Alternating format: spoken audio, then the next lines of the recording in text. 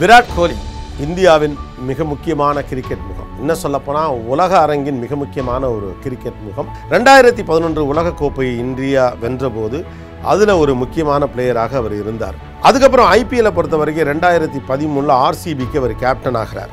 ரெண்டாயிரத்தி பதிமூணுலேருந்து ரெண்டாயிரத்தி பதினாறு வரைக்கும் விராட் கோலி பண்ண மிக முக்கியமான விஷயம் என்ன அப்படின்னு கேட்டால் ஃபிட்னஸ் அவர் எவ்வளோ ஃபிட்டாக இருந்தார் எவ்வளோ பெரிய பர்ஃபார்மராக இருந்தாருங்கிறதுக்கான உதாரணம் என்னென்னா ரெண்டாயிரத்தி பதினாறு ஐபிஎல் சீசன் இருக்குல்ல அதில் அவர் அடித்த நயன் செவன்ட்டி த்ரீ ரன்ஸ் தான் இன்னைக்கு வரைக்கும் ரெக்கார்டு அந்த ரெக்கார்டை யாராலையும் இது வரைக்கும் எந்த சீசன்லையும் பீட் பண்ண முடியல.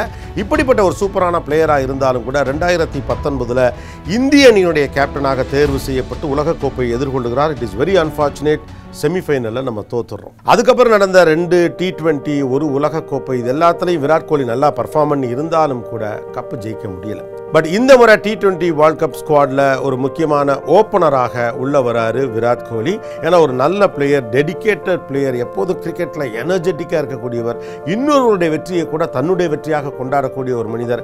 இளம் பிளேயர்ஸ்க்கு கொஞ்சம் கூட ஈகோ இல்லாமல் எல்லாத்தையும் சொல்லிக் கொடுக்குறவர் ஃபேன்ஸோடு சேர்ந்து அந்த கிரவுண்டில் அந்த ஆராவை என்ஜாய் பண்ணக்கூடிய மனுஷன். ஸோ அப்படிப்பட்ட ஒருத்தர் கையில் கப்பை கொடுக்க வேண்டிய பொறுப்பு இந்த டி டுவெண்ட்டி உலகக்கோப்பை ஸ்குவாடுக்கு இருக்குது அப்படின்னு கூட சொல்லலாம்.